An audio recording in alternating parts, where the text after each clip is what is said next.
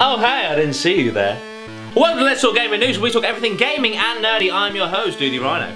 Daisy Ridley, the actress in The Force Awakens who played Rey, is apparently in talks to play the latest reboot of Lara Croft, aka The Tomb of Raiders. Now this casting choice I kind of understand because if you look at the way that the games have been shifting and changing in recent times, it does kind of look like Daisy Ridley, you know? It's less kind of double D tits and Desert Eagles and more sophisticated Brit with an obsession of going to places where she can shimmy across ledges.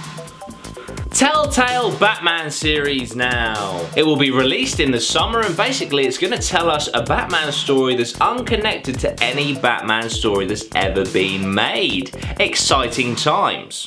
This allows for a lot of scope especially with the villains. Now it could introduce lesser villains, give them more of the limelight, or it could do a different take on some of the bigger villains. For example, Gotham is going to introduce a female Joker which is something that not many people are aware of actually exists in the DC universe. There is an alternative universe, I'll only be brief, where basically in the uh, Wayne family death scene, rather than the parents dying, it's actually Bruce Wayne that gets shot and killed, which leads to his father taking up the mantle, but his father is a Batman that does just kill criminals because he saw his son die, and it sends his mother insane, creating a female Joker. I'm not saying that this is what Telltale Batman's going to do. In fact, I know for a fact it isn't going to go for that storyline because it's going to be Bruce Wayne as Batman. But I'm just saying, you know, they could take the villains and reshape them in a way we haven't seen before or use lesser villains and make them more of the antagonists of the story. Say, for example, Black Mask, who got a big role in Origins.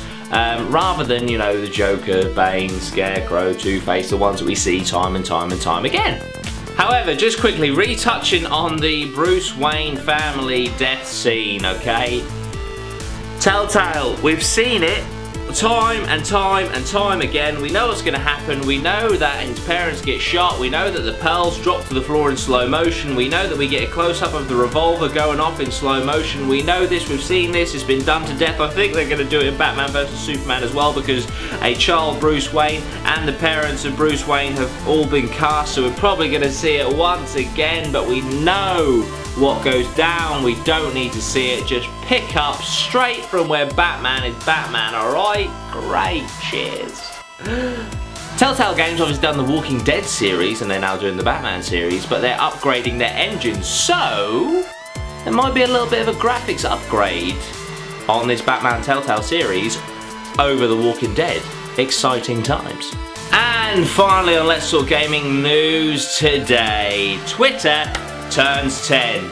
I don't give a shit, and I doubt you do either. Alright guys, thank you so much for watching. It's always a pleasure making these videos. I hope that you enjoy. Please sound off in the comments anything you think about today's episode. What do you think about Batman Telltale Games? What do you think about Daisy Ridley being Lara Croft? And hey, why don't you just comment saying happy birthday to Twitter? Please don't do that. Okay, so you can follow us on all our social media. Funnily enough, we have a Twitter account, uh, Dudey Rhino. Facebook Dudey Rhino, Instagram Dudey Rhino, Twitch Dudey Rhino, you get the kind of idea it's all at Dudey Rhino, okay? So yeah, follow us on there, please like, subscribe, share our videos, it really helps us out, and we'll see you in the next one. Bye bye for now.